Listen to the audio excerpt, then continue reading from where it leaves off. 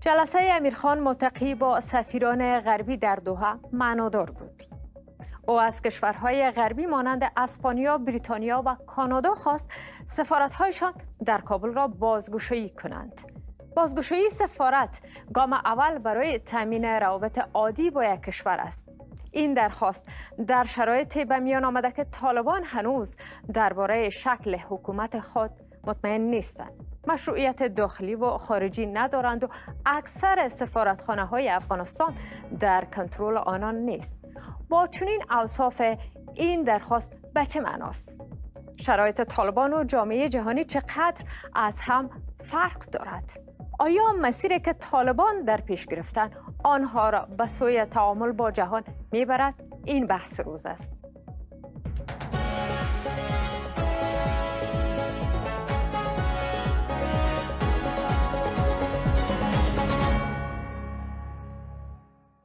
نور احمد خالدی آگاه امور سیاسی و اقتصادی از استرالیا و ما را هم دوست داریم در ابتدا بشنویم.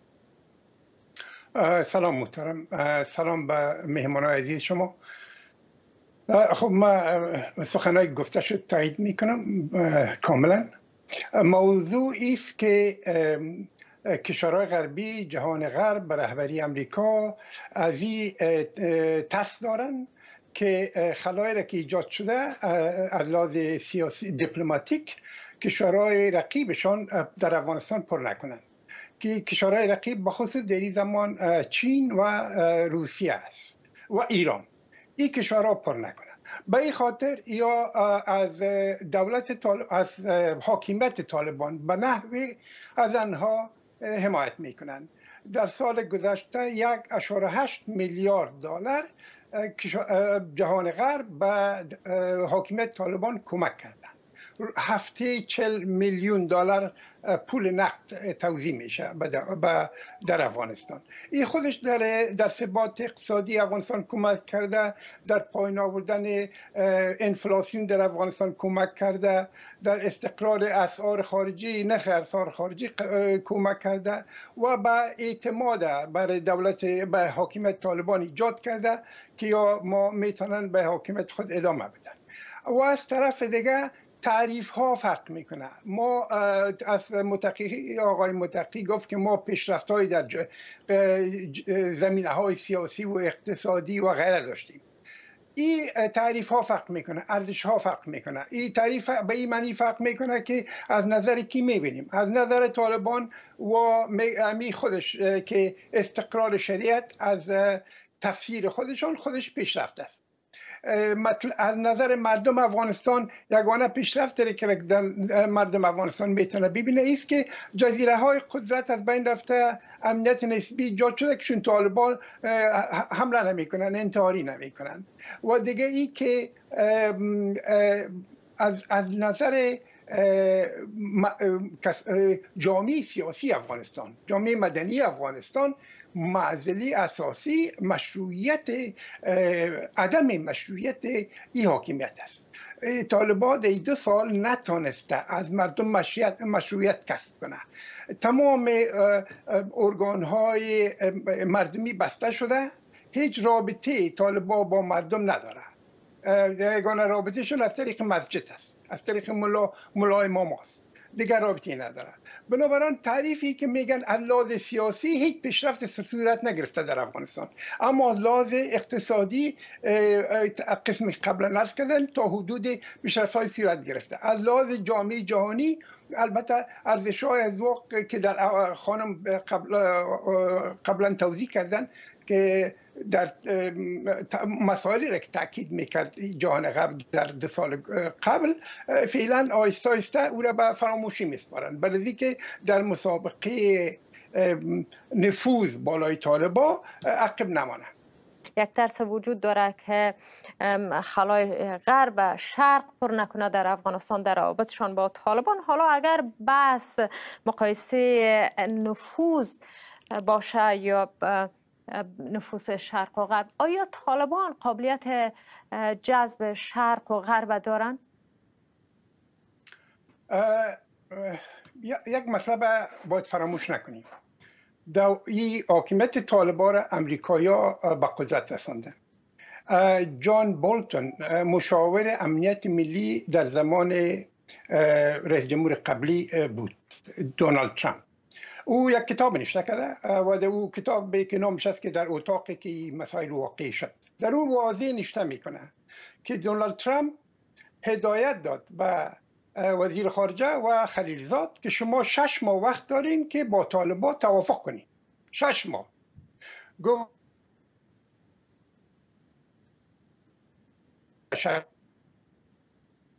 گفت بسیار خوب. خودت در یک سال باید شما توافق با طالبان دا کنید. شما ببینید دونالد ترامپ چی عجله داشت که از افغانستان خارج شود. و در او کتاب نوشته می‌کنه آقای بولتون که تا هر تقاضایی که طالبا کردن خلیزات پذیرفت حتی امی آزاد کردن زندانی ها پیشنهاد خلیزات بود نه از طالبا بنابراین این فراموش نکنیم. تعهدات وجود داره بین توافقات وجود داره بین امریکا و طالبا که در اعلامی دوها انعکاس نیفته در در زمایم مخفی از او است. و در, در او موضوع اجازه دادن به ای که از خاک افغانستان فعالیت کند. و مخصوصا بر ضد ایالت سینکیانگ چین است. امریکا منافع امنیتی داره در افغانستان و طالبات تعهدات دارند در قسمت بر امریکایی و امریکایی در توافق دوها واضح گفتن که ما از دولت آینده که روی میشه کمک اقتصادی می‌کنیم. یا واضح. است بنابراین این مسائل کال تعامل با طالبا از, از, از ضروریات دیپلماسی امریکاست خب حالا طالبان چقدر توانایی را دارند که بتانند توازن بین شرق و غرب برقرار کنند خب ترس امریکایی از است. برای که می‌بینن که طالبا با خلاف تعهد که با امریکا و خلیلزاد کرده بودن که از جنبش ترکستان شرقی اسلامی ترکستان شرقی در سینکیانگ چین حمایت حمایت سیاسی کنن حمایت نظامی کنن حمایت برادری و اصطلاح انجام بدن از او یا تخطی کردن. زیر فشار پاکستان و زیر فشار چین یا با یک توافق رسیدن با چین از تعهداتی که با امریکا کرده بودن یا سر سرپیچی کردن. بنابراین تمام فشار امریکا است که یا کاملا نرن به جناه چین و روسیه و منافع امریکا را در اینجا به خطر نپردن به این خاطر بله. امریکایی ها مجبور هستند که با طالبا به نحو جور به بسیار تشکر. حالا پاسخ روسیه به این روابط چه خواهد بود؟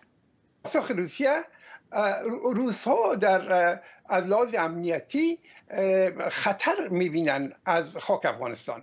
این جنبش های اسلامی که در آسیای مرکزی هست یا همهشان با طالبان دست یکی بودن در زمان جهاد طالبانی.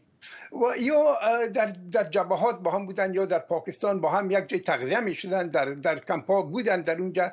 یا روزایی رو می‌فهمن و تمام مسلمان های امنیتی منطقه موضوع رو می‌فهمن. شما یک شبه نمی‌تونین که طالبات تمام روابط خود با تمام جنبش های اسلامی قطع کنن. او خلاف مذهبشان است خلاف روابط اسلامیشان است. بنابراین در ظاهری گپ میگن اما یا خانه می‌تونن که یک شبه تمام بیار فراموش کنن.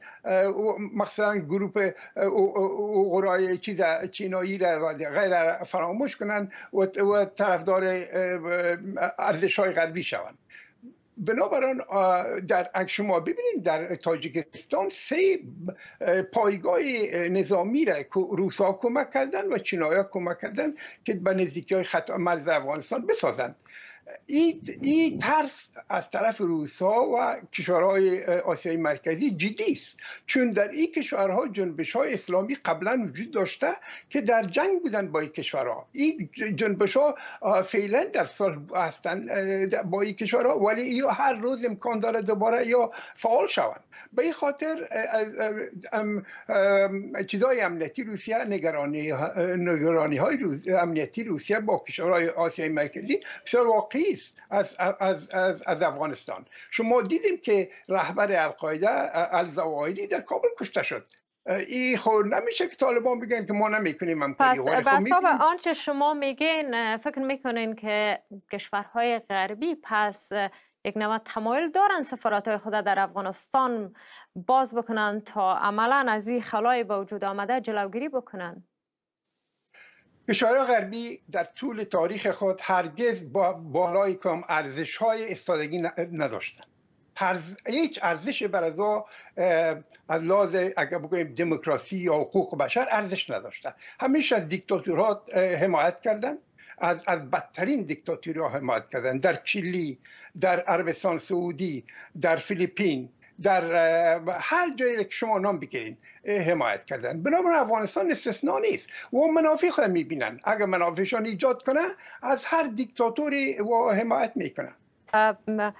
پس به نظر می‌رسه آقای خالدی که ارزش های حقوق بشری هم خیلی در برابر منافع سیاسی کشورها مهم نیست. حالا وضعیت کنونی افغانستان تا که ادامه خواهد داشت و چه زمان افغانستان صاحب یک حکومت مشروع نخواهد شد و همین طور به بنبست مواجه خواهد بود؟ متاسفانه خانم ما کدام روشنی نمی‌بینم در اخیر ای تونل. وضع قسم خانم فریبا گفتن خانم نوابی فرمودن ما در بدترین حالت خود از نظر در طول تاریخ اخیر از نظر حقوق بشری حقوق آزادی های مدنی قرار داریم. و ای اما از طرف دولت طالبا یا حاکمیت طالبا و پیروزیشان در امیست که همچو یک نظام را حاکم ساختن. ما یک چند وقت پیش یک مصاحبه از یک شخص شنیدم در قندهار. یکی از طالبا در شهر قندهار برآمده بود و او بعدا گزارش داده بود که ما امروز بسیار خوشحال هستم که در تمام شهر قندهار ما گفت کل سرکار رفتم گشتم با جز چند خانم گدا دیگه هیچ زن وجود نداشت. این به نظر طالبا یک دستاورد است. دستاورد سیاسی است. یعنی تجرید زنا از مردا اپارداید جنسیتی برای طالبا یک ارزش است. ارزش اخلاقی است ارزش مذهبی است ارزش فرهنگی است.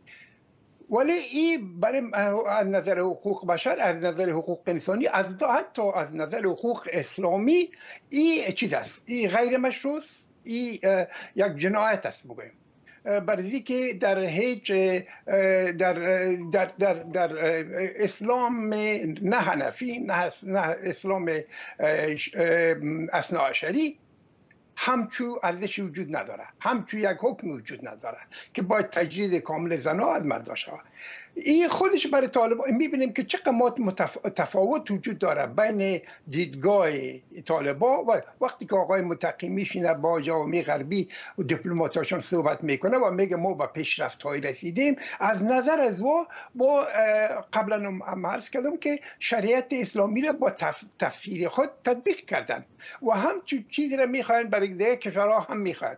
ما در ظرف دو سال گذشته در هر مصاحبه تلویزیون یا رادیویی که بودیم انتقاد شدن. تنها خود منی همین هر هر افغان آگاه دیگه که در اشتراک کرده بالای طالبا در این قسمت انتقاد کردن. حتی طرفدارای طالبا بالاشان انتقاد کردن. اما طالبا به گوش نمیدن. از نظر سیاسی در چیز شما در گزارش مقدمه شما گفتیم که طالبان مطمئن نیستن از سیستم حکومتی خود. ما این مطمئن نیستم که این گپ درسته باشه. ولی طالبان برشان این نظامشون است.